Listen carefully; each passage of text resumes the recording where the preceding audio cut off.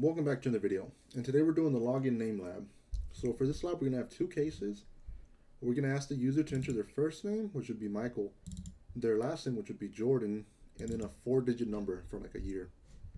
And if like the last name is less than five characters, we have to hold we have to use like the whole like last name as the login name. For example, Jordan is more than five characters, gonna be one, two, three, four, five. So we're only doing um, the first character all the way to the fifth. So it would be Jord, and then we're doing the first um, like the first initial of the first name, which would be M, followed by like the last like two characters of the of like the not two characters, but the last two numbers of the year. So in this case, it would be all the way up to the fifth character of Jordan, which would be Jord, first initial of Michael, which would be M, followed by the last two characters. And then for case two, uh, case two is if it's like uh, the last name is not five letters, we just have to print like the whole last name, which would be West, Kanye West. And then for Kanye, we just want the first initial, which would be the K, followed by the last two digits of the year they entered. So first, we need a scanner object to get user input. We do scanner, scnr, equal to new scanner system.in. So I already have Java.util scanner imported, but if you don't, you will just get an error and you can hover over it and then you would import it. So we have that. Now we could use that scanner to actually like ask for user input. So we could do string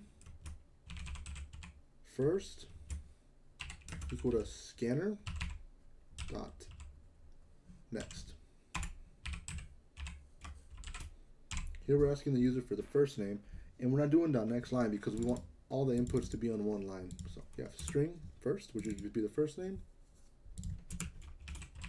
String last equals to scanner dot next. That would just be the last name.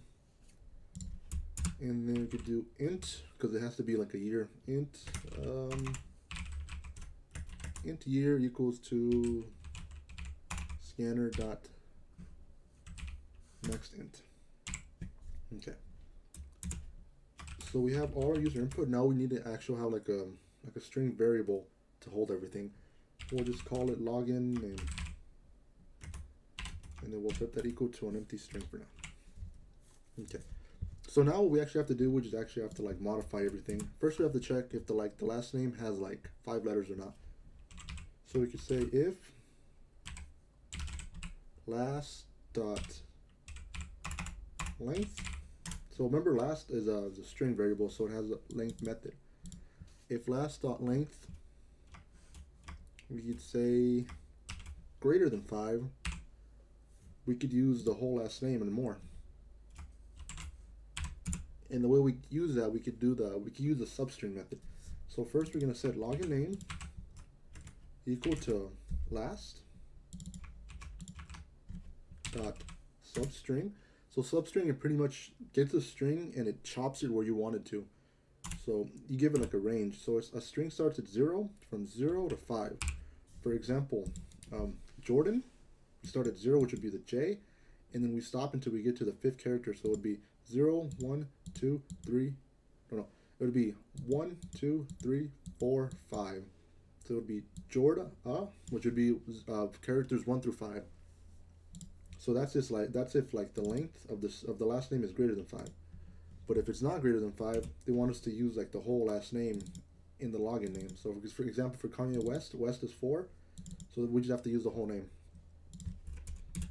So we could say else, and we don't have to do else if. We could just do else because if this is not like this code is not executed, it's just gonna skip over. If not, we could do login login name equal to the last name. Because we're assuming it's we know it's shorter than five so we have that. And then we just have to pretty much format it. So we have the last name we just have to format the first initial followed by the number. So we could do login name equal to itself because we already have the last name stored in login name. Plus we need the first um, first initial. It doesn't matter if it's uh, greater than 5 or less than 5 because we already, already figured that out in this chunk of code. So now we need the first initial. the way we could do that, we could say first dot char at. So char at it gets a character at whatever like index you tell it to. If we do char at zero, we're looking at the first name, which in this case would be it would be Michael. We're looking we try to get the M, so it would be char at zero.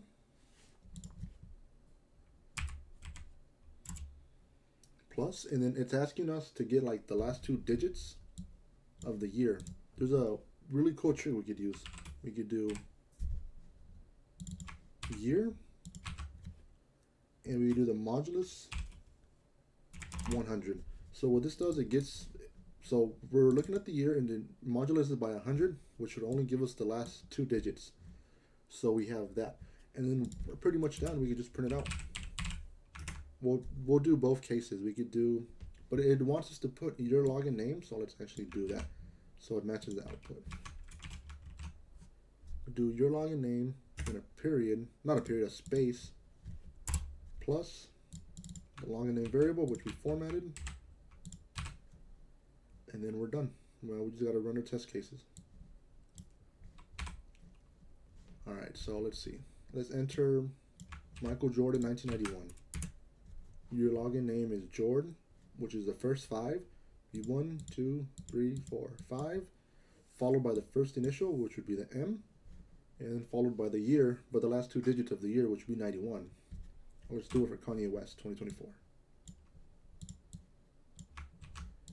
Do that.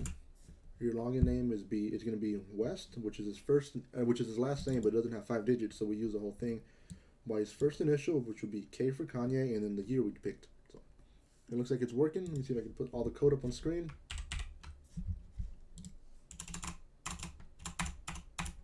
There it is. If this helped you in any way, just leave a like and subscribe.